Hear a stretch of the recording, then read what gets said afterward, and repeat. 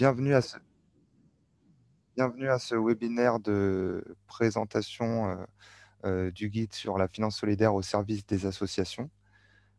Alors, avant de commencer peut-être le webinaire, peut-être revenir sur quelques aspects techniques.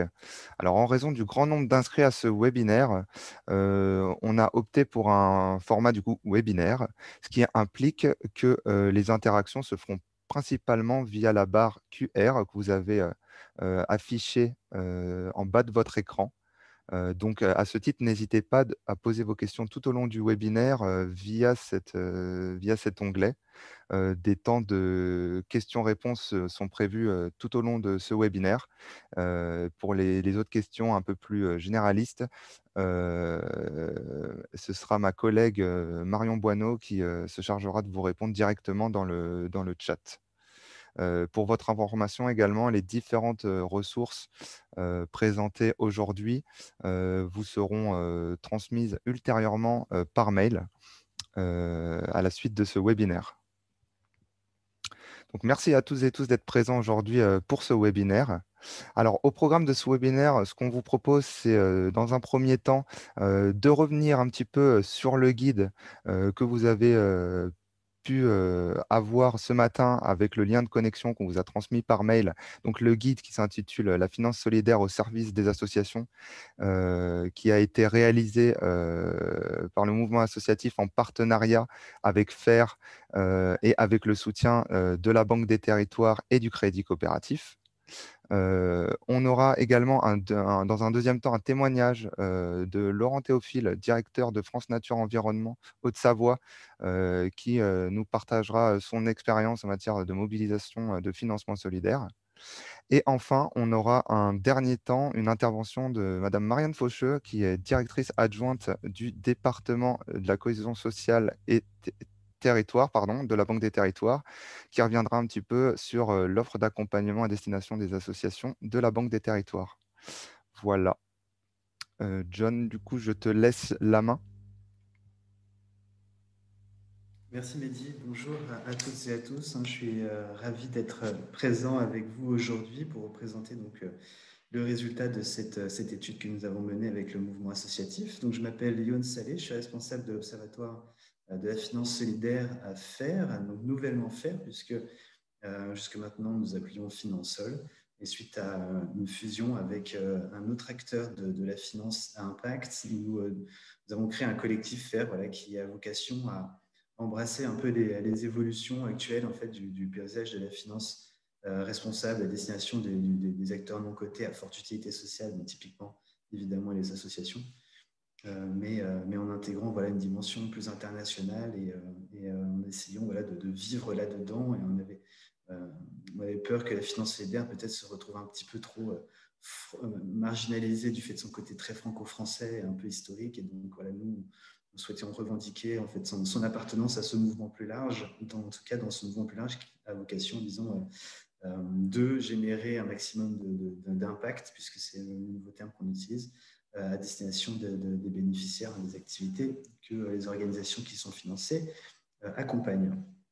voilà pour le petit, le petit laïus, mais on reste euh, évidemment une grosse partie de notre activité en fait est autour du label Finansol, un label Finansol qui, qui ne, ne, ne, bouge pas. Et en l'occurrence, je vais vous expliquer un petit peu plus pourquoi c'est important dans, pour comprendre en fait les données que je vous ai, que, que, nous avons consolidées avec le mouvement associatif.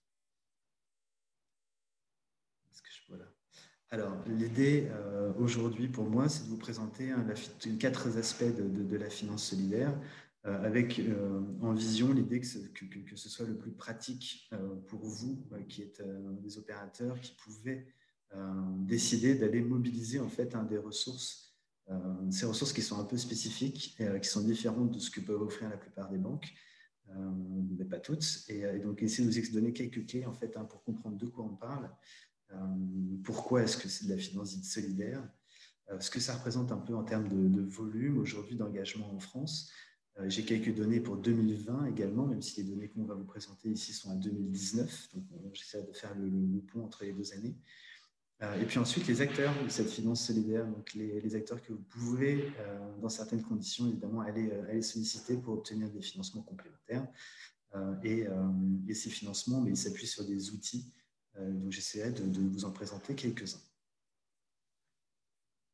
Alors, la finance solidaire, c'est quoi? Fondamentalement, c'est une finance qui relie l'épargnant qui, qui, cherche à donner du sens donc, à son argent, et c'est que c'est une thématique d'actualité hein, de plus en plus, à des entreprises, des porteurs de projets euh, à forte utilité sociale et, euh, euh, avec cette idée finalement que l'épargne qui est déposée sur un certain nombre de produits va être canalisée, va être fléchée en fait d'une manière ou d'une autre à destination de ces porteurs de projets.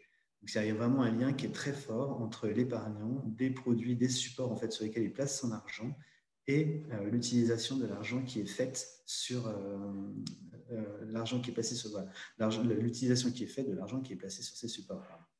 Et euh, c'est que c'est quelque chose d'assez particulier, puisque aujourd'hui, le, système financier ne fonctionne pas comme ça. Hein, fondamentalement, typiquement, vous placez de l'argent sur un livret bancaire, ce n'est pas votre argent qui va servir à financer euh, des entreprises. L'argent va être placé en bourse et les banques vont emprunter sur la bourse pour financer, derrière, donner du prêt aux, acteurs économiques. Dans la finance solidaire, on essaie de, d'aller en contre-courant finalement de cette tendance pour aller marquer le lien de façon la plus directe possible entre la ressource et les projets qui sont financés. Certains acteurs le font de façon complètement directe, on est quasiment sur du circuit court, on, finance directement les, acteurs, par exemple on souscrit un départ social d'une coopérative, euh, et dans d'autres schémas, on va avoir des schémas un petit peu plus intermédiaires que je vais essayer de vous expliquer, mais l'idée c'est bien quand même de faire ce lien. Alors, en rentrant un petit peu dans le détail, aujourd'hui, donc, le circuit de la finance solidaire, euh, bah, fondamentalement, le, schéma que vous voyez apparaître hein, reprend hein, ce que je venais de vous dire, euh, s'appuie sur de l'épargne, l'épargne de particuliers. Ça, c'est quand même quelque chose de très spécifique. Hein. on n'inclut pas ou peu les investisseurs institutionnels là-dessus. Donc, c'est vraiment intéressant euh, que par ailleurs la Caisse des dépôts soit là, puisque typiquement, les, données de la Caisse des dépôts ne sont pas incluses dans les, chiffres que je vous présente aujourd'hui. Et donc, on et, euh, donc, c'est le premier élément en termes de périmètre. Et on, s'appuie vraiment sur le label financier hein, en ce qui concerne les chiffres que je vous donne. Donc, c'est pareil, le label financier a cette, euh, idée ou cette, euh, revendication un peu forte de décrire la finance solidaire. Évidemment, c'est un peu trop ambitieux, un peu réducteur que de dire cela, mais c'est très pratique également pour nous. Euh, donc pour nous, la finance solidaire, finalement, c'est l'encours ou les réalisations euh, faites à partir des produits d'épargne ou des supports de placement qui sont labellisés financiers. Euh, c'est différent de ce qu'on peut trouver dans d'autres pays où l'approche un peu traditionnelle va beaucoup mettre en avant les monnaies locales, les systèmes d'arrondis de, solidaires, par exemple, qui existent par ailleurs. Mais pour nous, c'est en dehors hein, de notre périmètre, puisque euh, ce ne sont pas des supports d'épargne, fondamentalement. Nous, on reste vraiment, on s'appuie hein, sur des supports d'épargne, des supports de placement. Euh, et, donc, tous les mécanismes de dons, par exemple, sont inclus, les monnaies locales, tout ça, c'est en dehors de notre périmètre. Aujourd'hui, euh, on a ce qu'on appelle des canaux. Ça veut dire que l'épargnant, en fait, va pouvoir accéder à des produits labellisés financiers à travers trois grands chemins, si je puis dire le chemin qui est le plus euh, facile, disons, euh, qui, où les choses sont amenées finalement à l'épargnant sans qu'il ait besoin d'être extrêmement proactif, ce qu'on appelle l'épargne salariale solidaire. fondamentalement, euh, les salariés des entreprises qui proposent des plans d'épargne vont pouvoir accéder dans leur plan d'épargne à un produit solidaire. depuis la loi 2008 euh, donc loi dite LME 2008, en fait, il y a une obligation, même pour toutes les entreprises de plus de 50 salariés, de proposer un produit solidaire dans tous les plans d'épargne qui sont proposés euh, dans, leurs entreprises. Donc, ça a été vraiment euh, la loi qui a permis l'envolée hein, des ressources de la finance solidaire, puisqu'aujourd'hui, ça représente plus de 60% de, la ressource vient de ce canal. Vu que c'est un canal qui est assez passif hein, fondamentalement, puisque les salariés, on, voilà, on leur dit vous avez un plan d'épargne, regardez les produits, choisissez où vous placez euh, vos, primes, vos intéressements. Euh, et de façon assez naturelle, ils vont choisir les produits solidaires, puisque c'est des produits qui parlent, hein, évidemment, et qui sont dans l'air du temps. Un canal qui est un petit peu euh, plus proactif, ce qu'on appelle le canal bancaire. Donc là, on inclut là-dedans tout ce qui est produits banquiers et produits assurantiels. Fondamentalement, le client va demander en fait hein, à son conseiller commercial de pouvoir accéder à des produits qui euh, répondent à certaines caractéristiques, notamment par exemple le fait que son, on garantisse qu'une partie de son argent serve à financer des acteurs euh, de l'économie sociale et solidaire, typiquement, des associations. Euh, c'est un canal qui donc demande un, niveau de maturité du souscripteur un petit peu plus fort.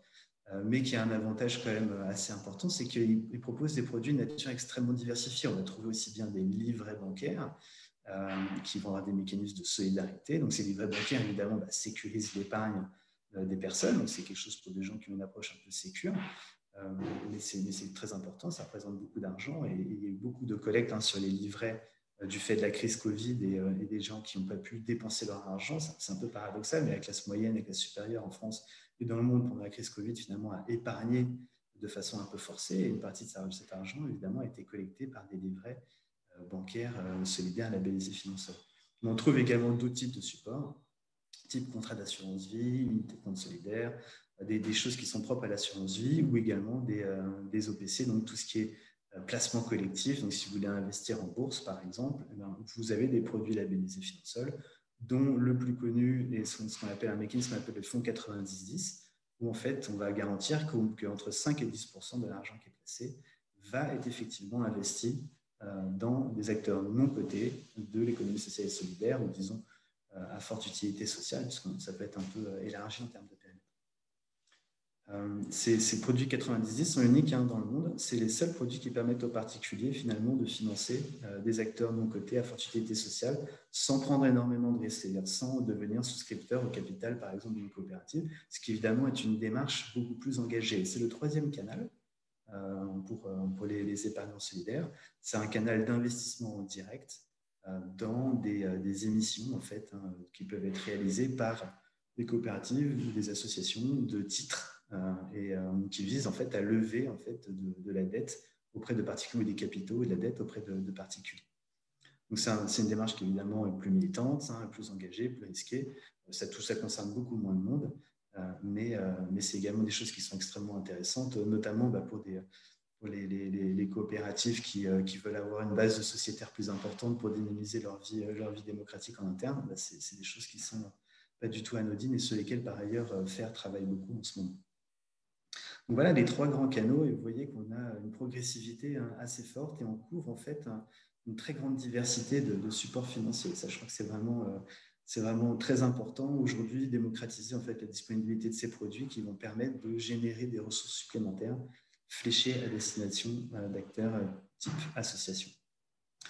en, second lieu, voilà, j'ai expliqué hein, fondamentalement l'épargne solidaire canalisé à travers ces produits d'épargne labellisés Finansol. Et euh, in fine, on dispose, ces, produits financiers en fait vont être labellisés pour, euh, disons, trois grands critères. Un critère qui est dit de transparence, c'est-à-dire ce que je vais expliquer. On va, on va attendre en fait du gérant du produit qu'il produise, qu'il génère de la donnée sur l'utilisation de l'argent et qu'il la transmette euh, aux souscripteurs des produits. Première chose. Et donc, essayer de lutter contre la boîte noire hein, de, la finance euh, pour, euh, pour mettre des données à disposition des particuliers. Y a une très forte demande là-dessus. Hein. Vous avez peut-être vu des, applications comme Rift, par exemple, qui permettent maintenant en particulier de, renseigner hein, les produits euh, bancaires et financiers dont ils disposent en cours dedans et qui va générer un certain nombre de données sur, sur l'utilisation de l'argent et des externalités de l'argent. C'est vraiment une demande aujourd'hui très forte. C'est une espèce de yuka pour la finance et, et auquel nous, nous participons activement, évidemment. Euh, le premier critère, critère de transparence. Un deuxième critère va être un critère d'action commerciale. C'est-à-dire que les produits labellisés financiers doivent être promus euh, auprès des particuliers et doivent collecter chaque année. Et le troisième critère, c'est le critère dit de mécanisme de solidarité. Et là, on a fondamentalement deux mécanismes euh, qui concernent les associations.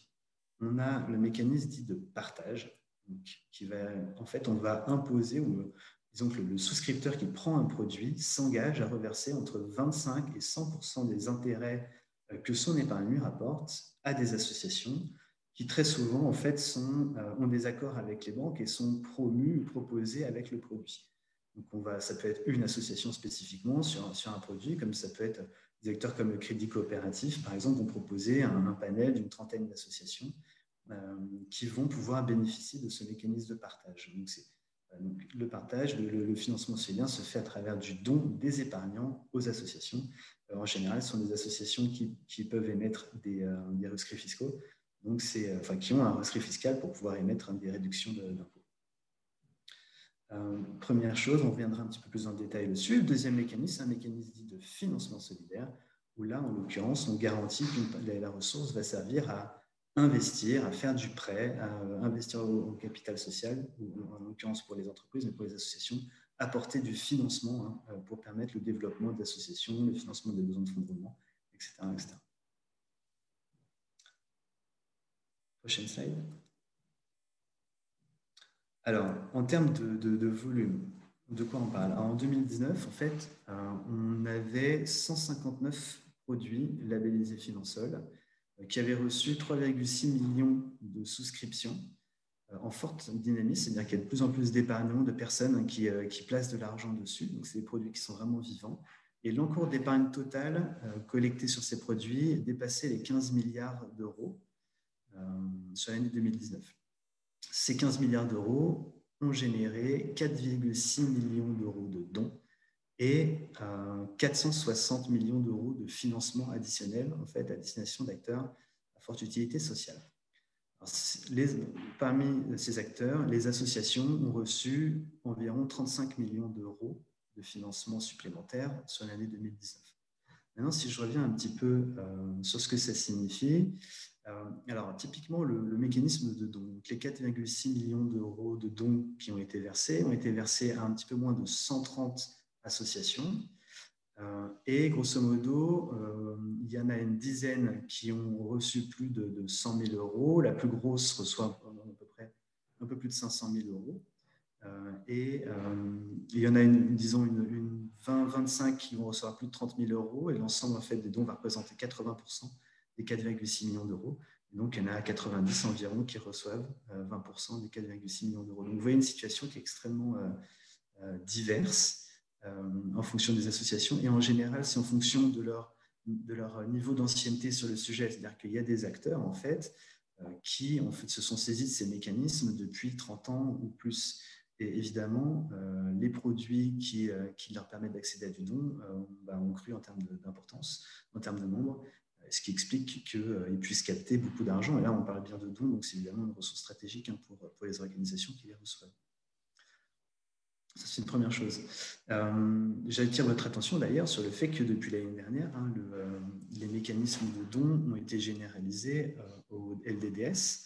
Donc, le LDDS, c'est le deuxième produit financier le plus diffusé en France. Euh, après le livret A, c'est un produit réglementé. Et aujourd'hui, il y a à peu près 25 millions de personnes en France qui sont, euh, qui, sont souscripteurs d'un LDDS. donc, c'est 25 millions de personnes à qui des banques vont devoir proposer de faire un don euh, à travers des mécanismes techniques que les banques mettent en place à destination d'un certain nombre d'associations qui, qui, ont été identifiées en préalable par les banques. Évidemment, là derrière, ça dépend de la stratégie des banques, ça dépend de l'implantation locale, ça dépend de, leur, côté marketing. C'est elles qui choisissent les banques. Nous, on n'a pas euh, beaucoup d'informations encore sur les, stratégies qui sont mises en œuvre. C'est un mécanisme tout récent qui n'est pas encore très bien approprié par les banques. Donc, on espère que euh, ça va se faire. En tout cas, nous, on va pousser hein, évidemment au niveau de, de pour qu'elles utilisent ce mécanisme de plus en plus. Peut-être par rapport à, ces chiffres-là, vous donner quelques éléments sur 2020, parce que 2020 a été une année assez exceptionnelle. Donc, à la fin de l'année 2020, l'encours de la finance solidaire est passé à 20,3 milliards d'euros. Donc, vous voyez qu'on a une croissance quasiment de, 5 milliards.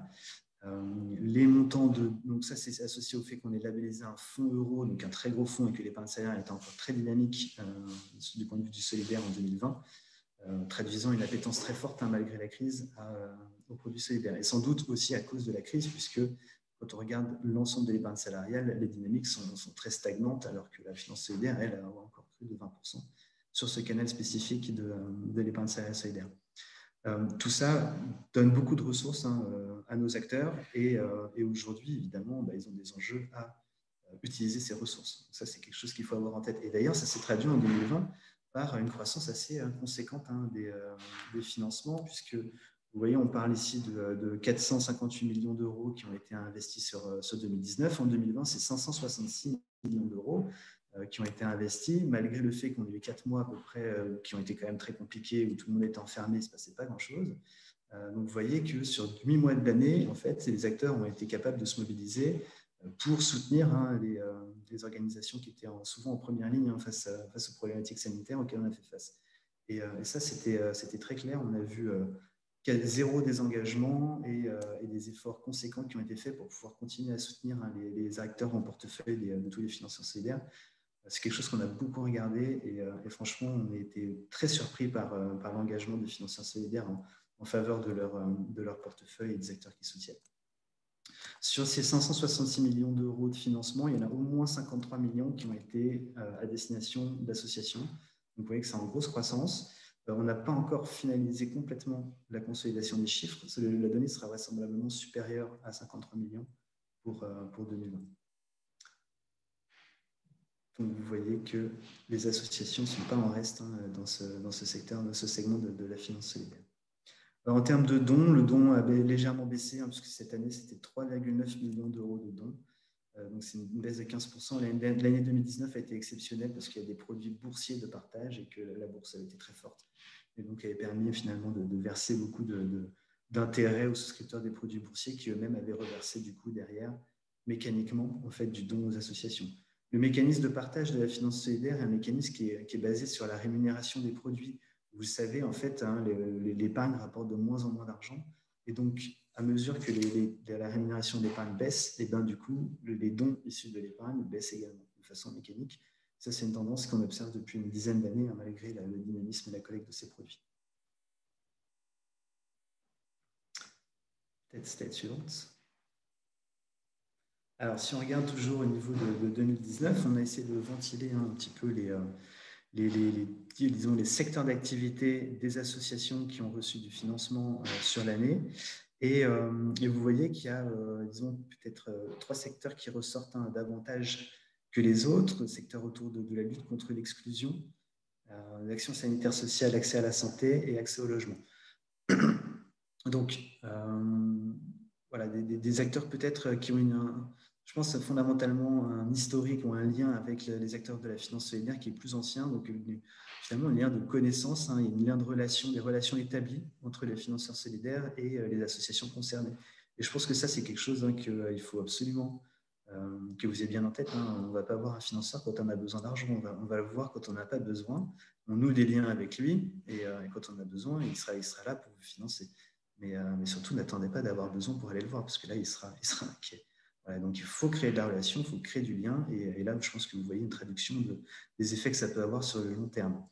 Euh, on a également euh, des acteurs de, la solidarité internationale qui sont très présents hein, dans, le milieu de la finance solidaire, donc des associations qui, sont capables d'aller chercher du prêt ou qui peuvent avoir besoin d'avoir accès à du prêt parce que euh, dans leur mode d'intervention, notamment quand elles font de l'urgence, elles ont besoin d'avoir des ressources tout de suite et pas d'attendre hein, les décaissements hein, des, ressources de développement, par exemple, que l'Union européenne peut fournir à des acteurs qui sont un peu moins pressés, par exemple.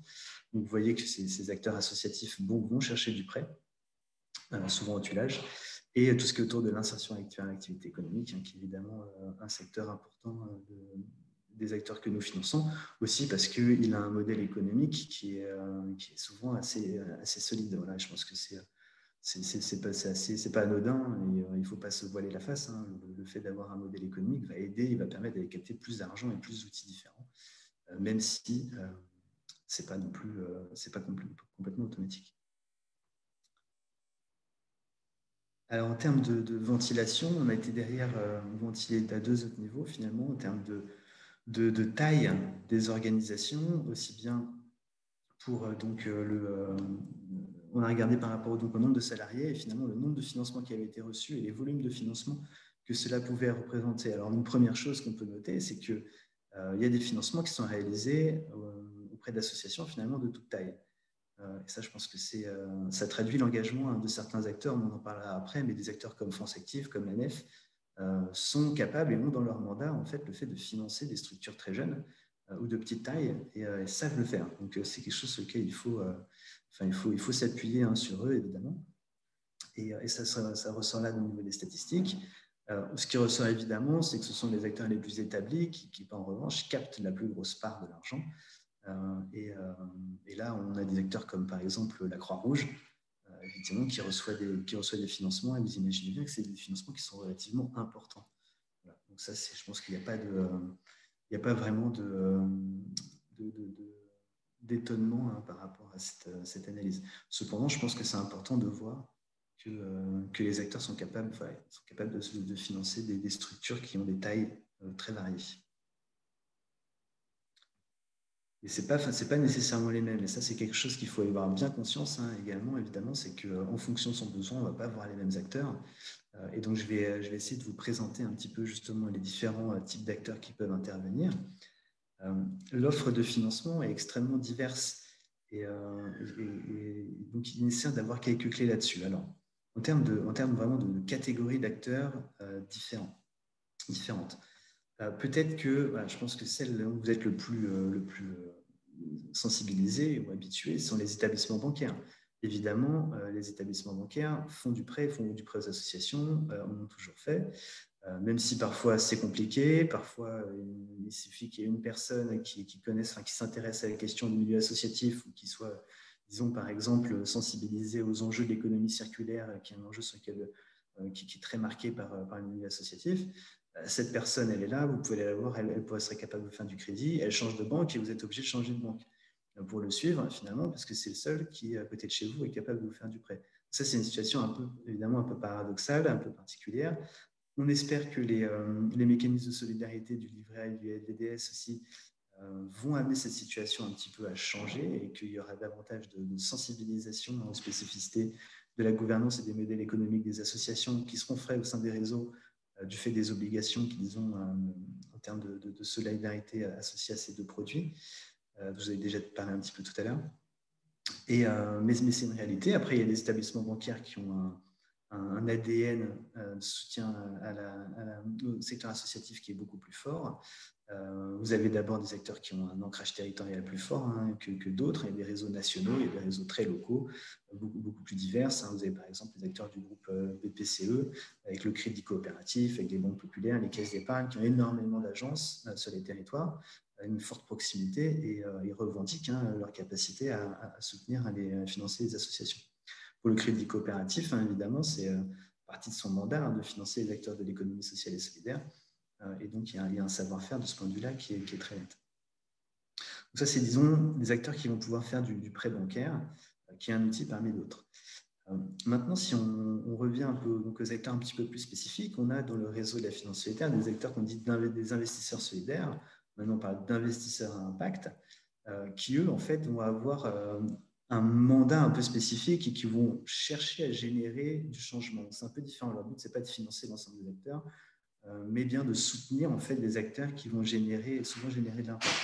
Donc, on va souvent attendre, en fait, ces acteurs vont souvent attendre finalement que les acteurs qui viennent les voir soient capables d'expliquer comment ils vont utiliser l'argent pour générer un impact positif, pour se transformer, pour euh, venir en soutien de leurs bénéficiaires. C'est une approche un petit peu différente. Euh, qui, et ils vont être capables en revanche de mobiliser des outils différents, des outils de financement qui sont différents et qui peuvent répondre euh, à des enjeux de modèles économiques un peu spécifiques. On parlera un petit peu après de titres associatifs, par exemple, qui, voilà, ou de, billets à ordre, qui sont, des, qui sont des outils qui sont différents de la dette dans la façon dont ils fonctionnent et qui peuvent être mieux adaptés aux modèles économiques et aux spécificités des acteurs associatifs.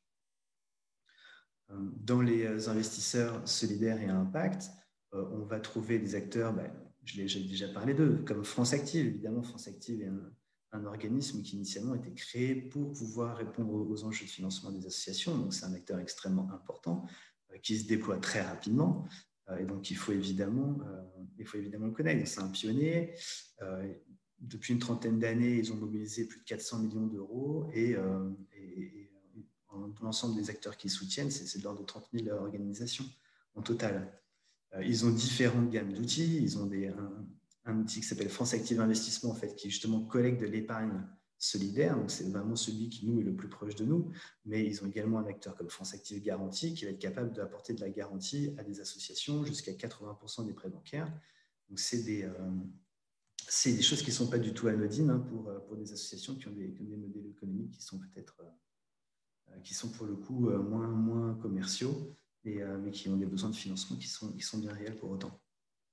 Dans les autres acteurs, on peut citer bah, évidemment alors, la Banque des Territoires, hein, mais je pense que on en parlera mieux, que moi après.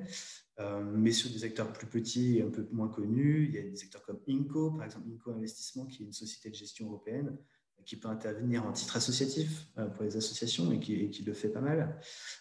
qui peut faire des billets à ordre également, on en reparlera un petit peu après.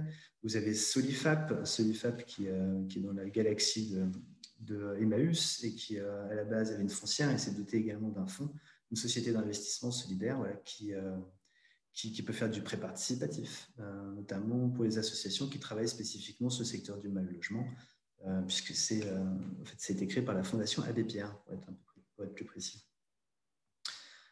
voilà pour cette catégorie d'acteurs. après, vous avez ce qu'on appelle les gérants d'actifs solidaires. Alors là, typiquement, vous êtes sur des acteurs qui vont capter en fait l'épargne salariale solidaire. Euh, pas uniquement, ce n'est pas la, seule source, mais c'est cette catégorie d'acteurs. Euh, et l'épargne salariale, pour nous aujourd'hui, comme je le disais, hein, sur les 20 milliards, c'est 12 milliards d'euros. Euh, et, même s'il y a un mécanisme de dilution qui existe, bah, ça représente beaucoup d'argent. Et donc, les acteurs que vous allez retrouver là-dessus, c'est des acteurs comme Amundi, du groupe Crédit Agricole, comme BNP Paribas Asset Management, euh, comme Ecofi, qui est une filiale du Crédit Coopératif, Mirova, qui est, une filiale de Natixis, qui est même une filiale du groupe BPCE. Euh, et ces acteurs, en fait, euh, ont une diversité, sont capables de, tout, financer. Ils ont les plus organisés, donc ceux que je vous ai décrits, en fait, ont créé des, ont des équipes en fait, qui sont dédiées au financement d'acteurs non cotés solidaires. Ils savent évaluer les modèles économiques, ils connaissent les spécificités de gouvernance et statutaire des différents acteurs d'économie sociale et solidaire, dont les associations. Et ils sont capables de mobiliser des, euh, outils financiers très divers, faire de l'obligation, faire de l'outil associatif, du billet à ordre euh, euh, et, et, plein d'autres choses. Donc, c'est des acteurs qui sont, qui sont vraiment intéressants. Et eux, pour le coup, c'est vraiment eux qui ils ont une, sorte d'obligation de, de, de, décaissement en réalité, comme je vous disais, par exemple, sur un fonds 90-10 euh, qui sont le gros outil qu'ils utilisent de plus, ben, il y a 5 à 10% de l'argent qui doit être placé dans des acteurs non cotés. Donc, si l'encours des fonds 90 augmente de 20 euh, fondamentalement, euh, l'encours qui est placé dans du non coté ben, doit augmenter de 20% également. Et c'est un peu différent de la, notion de l'investissement, c'est de l'allocation.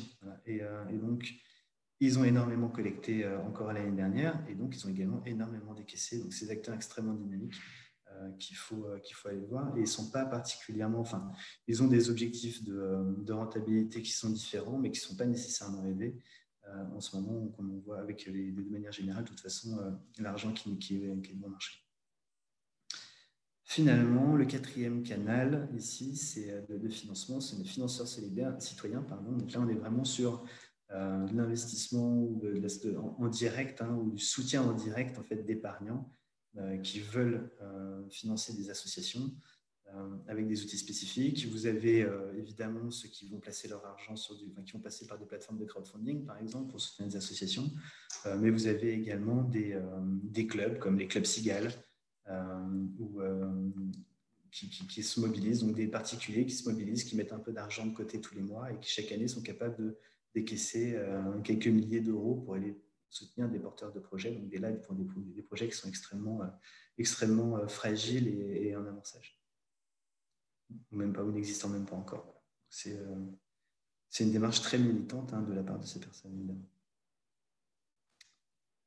Slide suivante.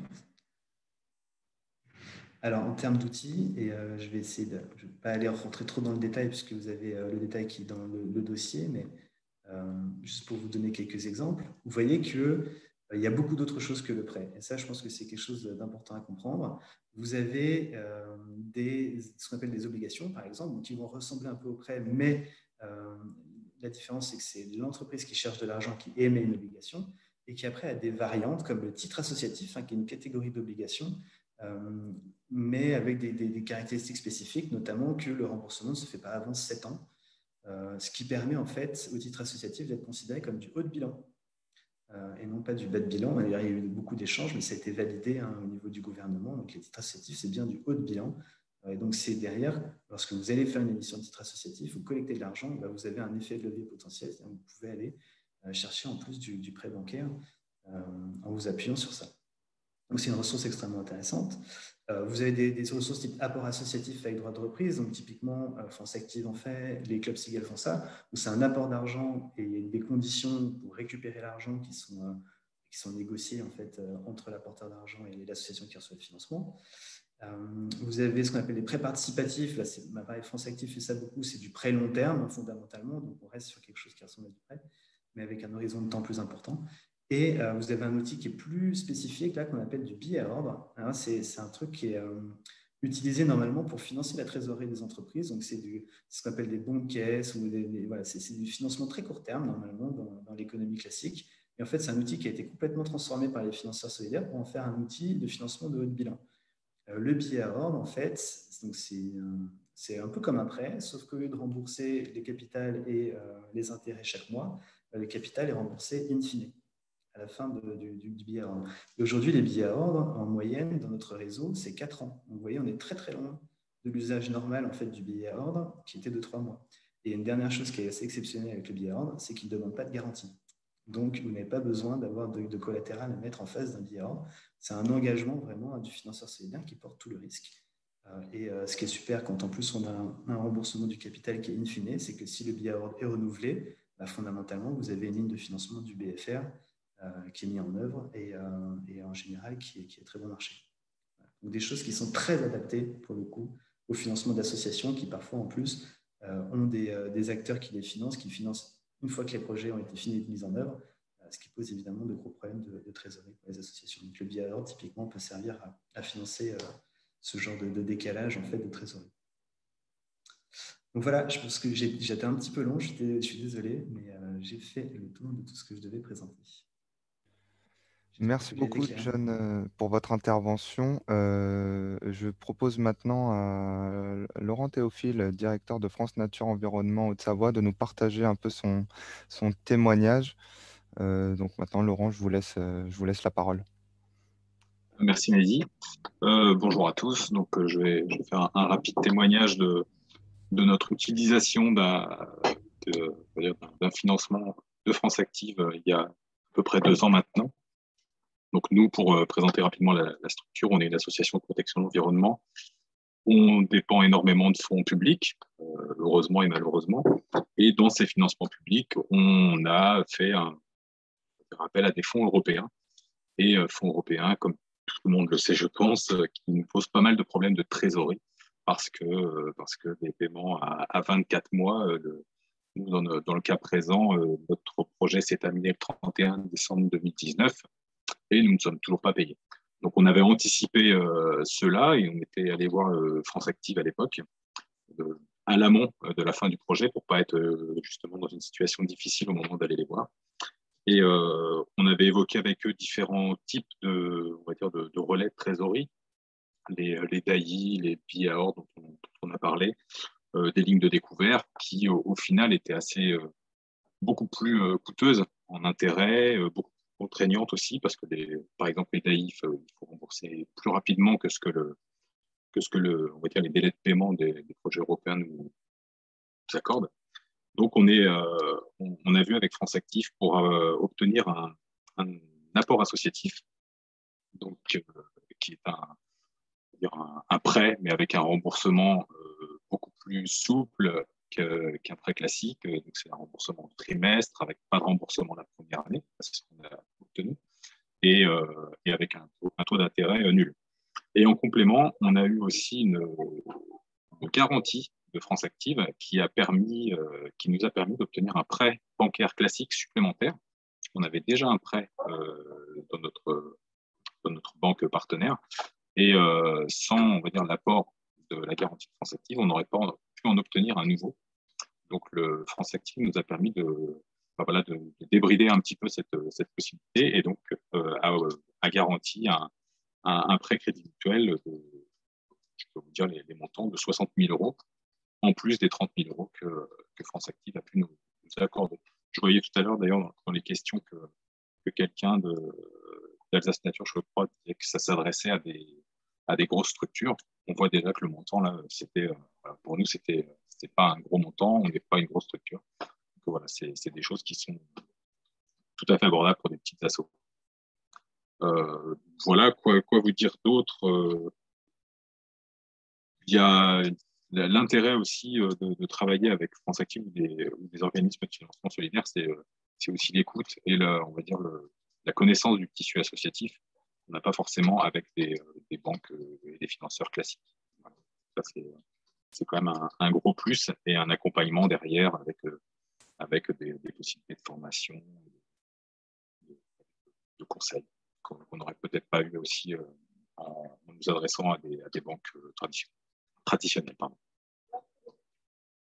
Voilà pour la, présentation rapide. Je crois qu'après, il y a un temps de, un temps de questions. Mais... Effectivement, merci beaucoup Laurent pour euh, ce témoignage. Euh, je ne sais pas, on va peut-être prendre trois ou quatre questions. Le temps file un petit peu, on se laissera peut-être un peu plus de temps euh, à la fin de ce webinaire. Marion, je ne sais pas s'il y a deux, trois questions. Justement, il y a la, la, question que vous évoquiez, Laurent, sur euh, dans, dans, la présentation qui a été faite, euh, le, sentiment que ces mécanismes semblaient globalement très orientés sur les grandes, grandes associations. Donc la, la personne qui, qui, qui, participe se demandait en fait s'il fallait déjà avoir une, forte faculté de, de, levée de fonds pour pouvoir euh, mobiliser des produits de la finance solidaire. Donc ça, c'était la première question. Je vais peut-être faire le, tour et ensuite euh, vous pourrez peut-être faire une, réponse globale. La seconde, euh, c'était de savoir, euh, vous avez ouvert beaucoup de vocations avec l'ouverture du... Alors c'est le livret de développement durable solidaire, le LDDS, on est d'accord? Comment y prétendre à ces... Alors, il y avait une question sur les critères. Peuvent-elles être simplement reconnues d'intérêt général, au sens fiscales, ou doivent-elles doivent être reconnues d'utilité publique? Donc, je pense qu'il y a un questionnement global sur euh, quel type euh, d'association peut avoir accès à du don. si je revois la, question de manière globale. Et enfin, euh, une question plus spécifique sur le, poids des titres associatifs aujourd'hui. combien d'associations en ont émis? Peut-être là, si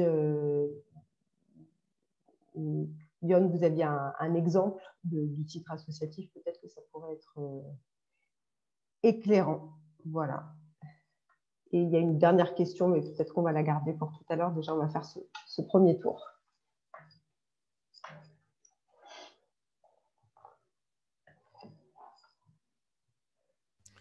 Je ne sais pas si Laurent, Yann, vous avez euh, des éléments de réponse à apporter. Euh, alors moi, je peux donner un, apport un peu théorique, mais peut-être que Laurent a un apport pratique qui est, euh, peut-être plus parlant. Euh, il y a une grande diversité d'acteurs dans la finance solidaire. En fait, je pense que ça, c'est quelque chose d'important. Et c'est clair qu'il y en a certains qui ne sont pas accessibles à toutes les organisations. en revanche, il y a des acteurs qui, sont, qui ont pour mandat vraiment de, financer, un, le secteur associatif, et deux, les acteurs qui sont, qui sont nouveaux, petits, fragiles, notamment la NEF et France Active on l'a déjà dit. Et moi, je peux que vous engager à aller les voir. Je veux dire, euh, la nef euh, est dans une dynamique de croissance extrêmement forte. Euh, leur livret d'épargne, par exemple, ils ont un produit labellisé qui est un livret d'épargne, en gros, est passé de 350 à 500 millions d'euros sur une année. Donc, vous voyez à quel point ils sont dynamiques. Ils utilisent, ce qui est spécifique à Nef, c'est qu'ils utilisent des ressources issues de leur livret pour financer les acteurs ils ont également besoin de gagner de l'argent, évidemment, ils gagnent de l'argent en finançant les acteurs.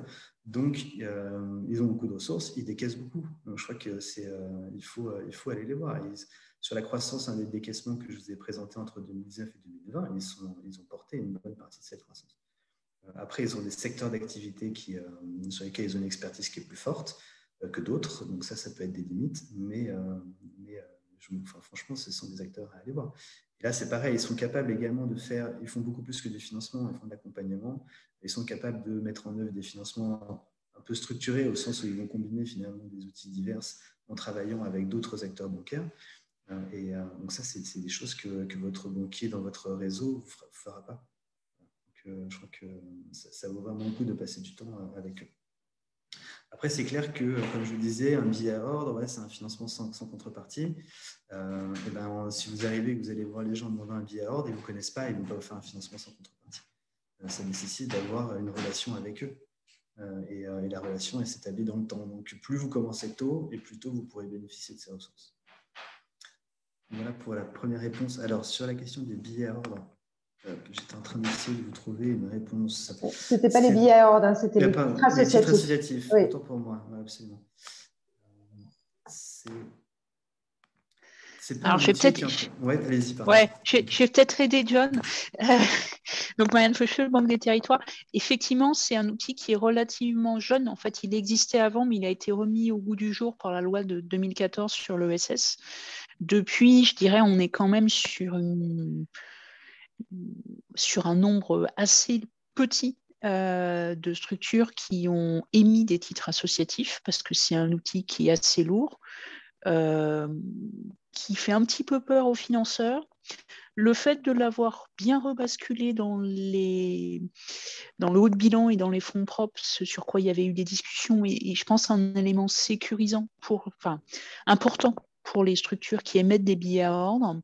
Euh, nous, on cherche à le développer et peut-être un exemple de structure qui vient d'en émettre un, c'est Bretagne Atelier, qui est une association en Bretagne de travail adapté et qui vient d'émettre euh, des titres associatifs pour plusieurs millions d'euros. Et je pense qu'on en aura d'autres. On est en train de travailler sur un certain nombre de projets. Euh, je sais aussi que le crédit coopératif travaille sur des billets à ordre. Euh, peut-être une autre structure qui avait, pardon, les titres associatifs, une autre structure qui avait été une des premières à en émettre, c'était l'ADI. mais pareil, une association quand même assez costaud. Je veux dire, les titres associatifs, c'est quand même pour des structures euh, un petit peu importantes et pour, vu qu'on est quand même sur une certaine complexité, des levées autour du million d'euros.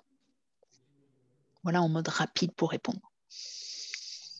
Mais je, rejoins complètement. Merci beaucoup, Marianne, de m'avoir euh, soutenu là dans, j'ai trop de recherche. Mais du coup, j'ai pu analyser un petit peu notre base de données euh, en parallèle. Alors évidemment, on ne capte pas tout, hein, mais euh, en termes d'information. Mais sur les six dernières années, moi, j'ai j'ai 13 organisations qui ont fait des émissions de titres associatifs dans ma base de données.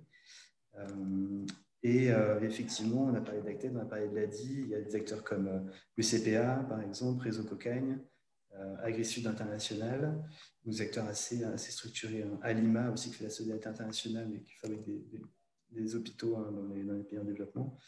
Euh, cette année, quatre, en 2020, pardon, il y a eu quatre émissions de titres associatifs qui ont été financées par des acteurs euh, du, réseau financier de fer. Et je rejoins complètement hein, ces outils qui sont où il y a eu pas mal d'incertitudes ces dernières années. Ça a été clarifié en début d'année, donc on est ravis. C'était validé comme étant du haut de bilan, ça c'est important. Euh, évidemment, et, euh, dont on, espère évidemment qu'ils vont se diffuser davantage. donc, il y avait une dernière question sur les, les, critères, mais je crois que vous avez un peu répondu hein, pour les, associations qui peuvent prétendre à, pour euh, percevoir la partie don. Est-ce qu'il faut des agréments spécifiques ou des choses comme ça? Alors, donc, intérêt général et utilité publique, les deux fonctionnent. Hein. La différence, hein, c'est que l'utilité publique, vous pouvez recevoir du leg, alors qu'intérêt général, vous ne pouvez pas. Euh, ça dépend de votre structure, etc. Mais fondamentalement, tant que vous pouvez remettre euh, un, voilà, comment s'appelle? Un reçu fiscal. Un, reçu fiscal, vous pouvez être éligible. Après, c'est plutôt une question de stratégie des acteurs bancaires qui vont décider de vous inclure dans le pool des associations qui seront promues auprès des particuliers, parce qu'ils ne le permettent pas à tout le monde, et le particulier ne peut pas choisir lui-même. Euh, c'est dans le contrat en fait, hein, du produit que vous souscrivez que, les noms apparaissent. Euh, les règles varient, donc c'est une question là aussi de nouer des liens avec, votre acteur, euh, avec les acteurs bancaires et de, et de pousser cette question progressivement.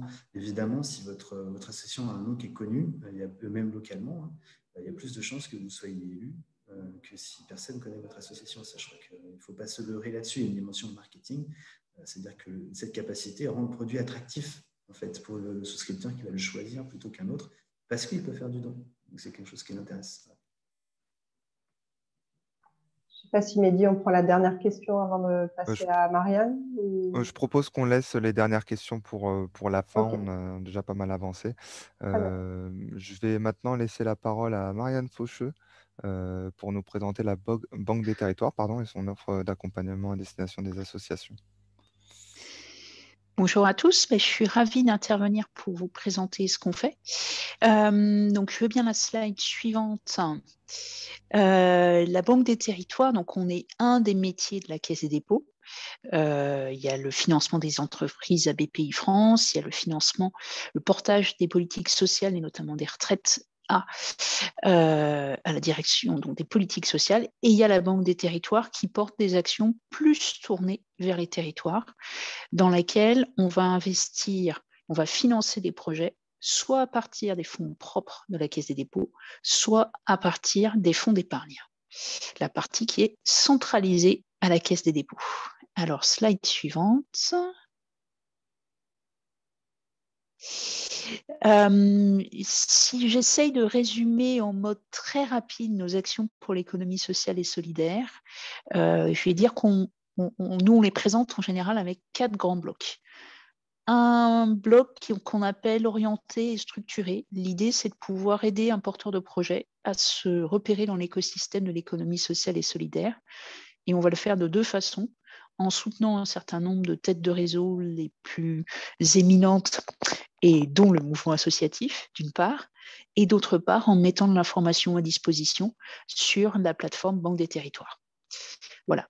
Deuxième idée, accompagner les porteurs de projets plutôt des acteurs qui, euh, qui sont employeurs. Et donc là, l'outil majeur qu'on utilise, c'est les dispositifs locaux d'accompagnement qui permettent d'accueillir des structures de l'ESS employeuses et leur proposer un accompagnement court dans le cadre d'un parcours d'accompagnement. Troisième bloc le plus important pour nous, le financement d'entreprises de l'ESS qu'on va faire soit en réalisant des investissements directs, soit en finançant des projets par subvention dans le cadre de mandats de l'État, du programme des investissements d'avenir ou investir pour les compétences, euh, en intervenant également via des fonds, c'est-à-dire qu'on ne va pas intervenir nous en direct, mais on va investir dans un fonds qui lui-même financera des entreprises. C'est l'exemple, par exemple, de France Active, où on est un de leurs gros euh, financeurs et pourvoyeurs de fonds.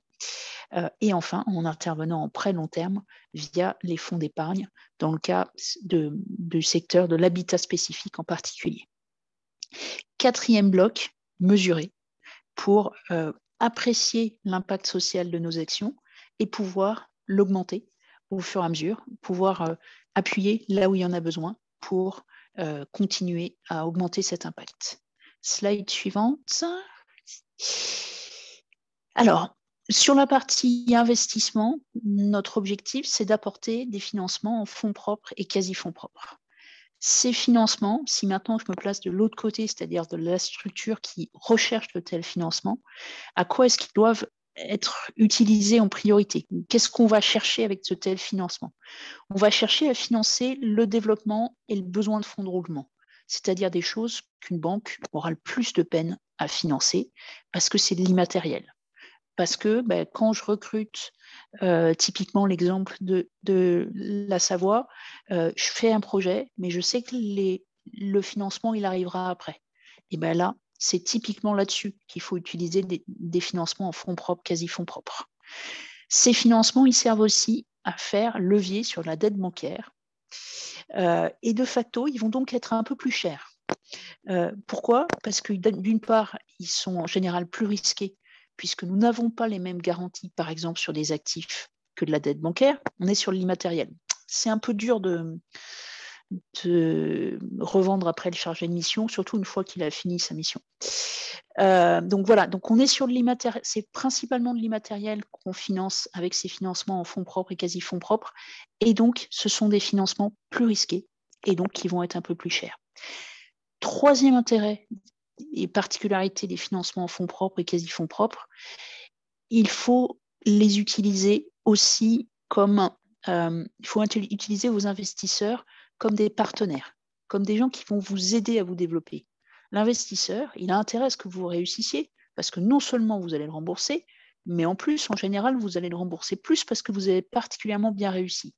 Donc, il, il faut chercher, un bon investisseur, c'est ce qu'il fera, il cherchera un alignement d'intérêts entre vous et lui pour que les objectifs financiers et d'impact que vous avez définis ensemble, ils soient atteints.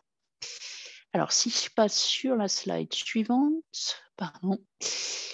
Donc, nous, euh, pour pouvoir apporter cet accompagnement, on a choisi cinq secteurs prioritaires où euh, on va intervenir en direct, on va investir en direct, parce que c'est les secteurs où on cherche à développer une expertise.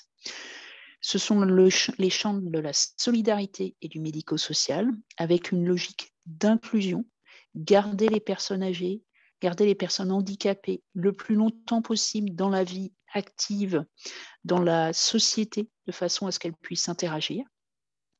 Donc ça, veut dire un certain nombre de services qui vont leur permettre, de rester actives.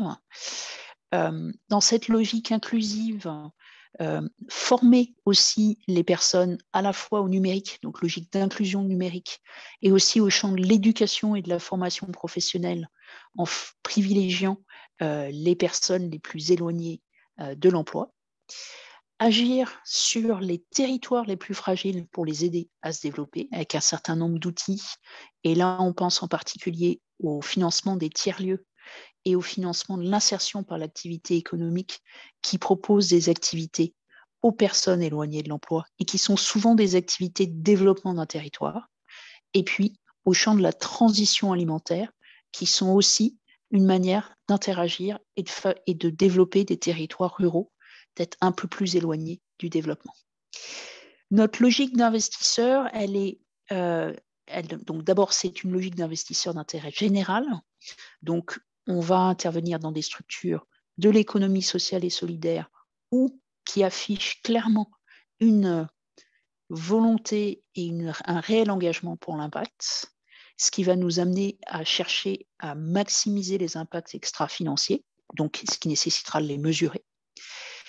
Euh, après, on va demander les mêmes droits, les mêmes contreparties que demande tout investisseur, qui sont euh, d'une part euh, une liquidité, à terme, une liquidité et une rentabilité de notre investissement. On veut récupérer ce qu'on a apporté et avec un peu de rentabilité, ce qui nous permet au passage d'accepter un peu de risque. Euh, on va intervenir en minoritaire puisqu'on cherche à faire levier sur d'autres investisseurs. Et puis, on va demander des droits de gouvernance qui, permettent de protéger nos intérêts, mais aussi de nous impliquer dans les décisions concernant le projet. Si je passe à la slide suivante, pardon. Euh, les champs où on va investir en direct, si j'essaie, je peux dire qu'on va, je vais mettre trois grandes catégories on va en priorité chercher des projets dits exemplaires, portés par des acteurs visibles, qui sont innovants, qui sont en changement d'échelle, qui ont déjà fait une première preuve de concept et qui sont en phase de développement. Et avec eux, on va construire un plan d'affaires financier et d'impact euh, pour suivre ce développement et on va s'impliquer dans leur gouvernance pour accompagner ce développement. Deuxième type d'acteurs qu'on va rechercher, des acteurs plutôt en, je dire en réplication, c'est-à-dire euh, typiquement si on a une fédération, il y a déjà quelques structures qui ont fait leurs preuves, qui existent, et le but du jeu, ben, c'est d'en faire plein partout, sur tout le territoire.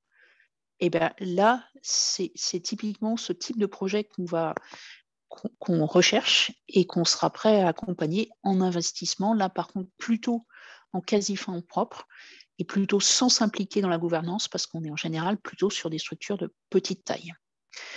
Et enfin, on va regarder des projets dits d'ampleur territoriale, par exemple des tiers-lieux, des projets plutôt tournés sur la transition alimentaire, où là, on interviendra principalement en quasi-fonds propres et sans s'impliquer dans la gouvernance, sauf sur des projets particulièrement innovants, y compris pour nous, euh, où on prendra le, on fera l'effort et on prendra le risque avec le projet euh, de construire en marchant.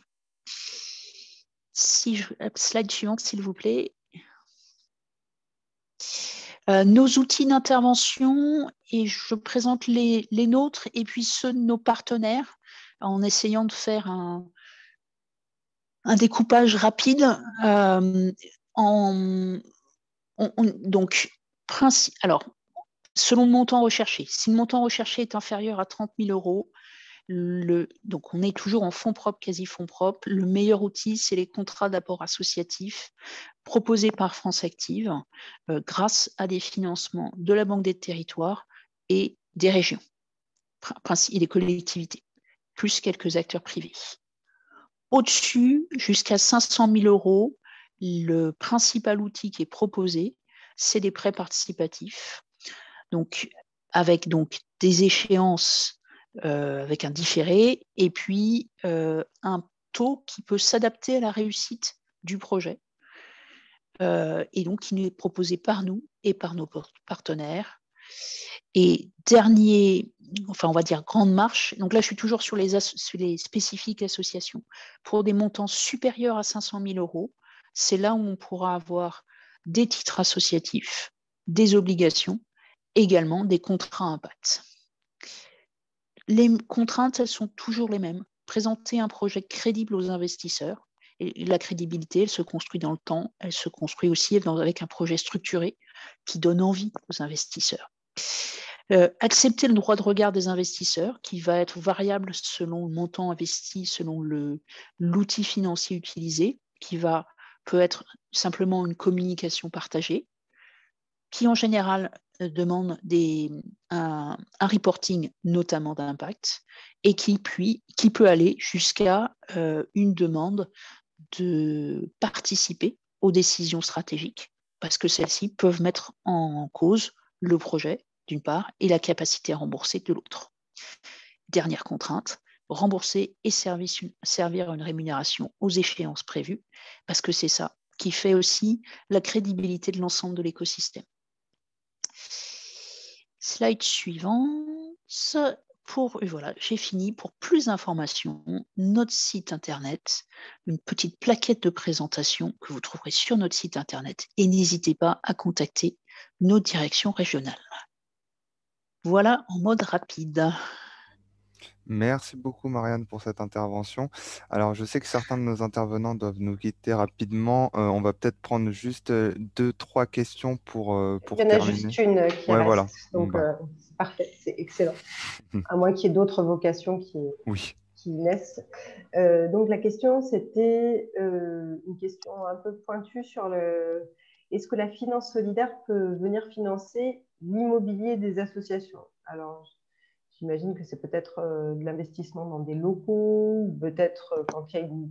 ça peut être vu de, différentes manières. Soit c'est dans des locaux pour euh, la structure, pour faire ses bureaux, on va dire. Soit ça peut être intégré aussi dans un, dans un projet qui intègre de l'immobilier type tiers-lieu. Ou... Je, ne sais pas à, quoi faisait référence la personne, mais je pense que c'est plutôt la, la, première question. Ouais. Alors, euh, la réponse est oui. Après, euh, je dirais c'est peut-être pas enfin, c'est peut-être pas le ce sur quoi il faut utiliser la finance solidaire en priorité. Pourquoi? Parce que de l'immobilier, normalement, ça se bancarise relativement bien. Une banque, si vous êtes sur de l'immobilier, elle arrive à vous faire un prêt immobilier, en général sur une longue durée, euh, potentiellement avec un petit différé. Donc ça, euh, ça fait que le, je dirais, c'est moins intéressant comme produit. Voilà. Euh, et puis il y a des produits de intéressants dans le secteur bancaire. Ouais. De mine, de rien, un, un, prêt immobilier, une garantie, il est en général moins cher qu'un financement en fonds propres, quasi fonds propres. Après, euh, parfois, on est obligé de faire un mixte, c'est-à-dire de mettre un peu d'outils de fonds propres, quasi fonds propres, plus du prêt bancaire. Et dans ce cas-là, on peut effectivement utiliser euh, un outil, euh, un, un, peu de finance solidaire, mais pas seulement de la finance solidaire. Merci. Et voilà, il n'y a plus de questions a priori.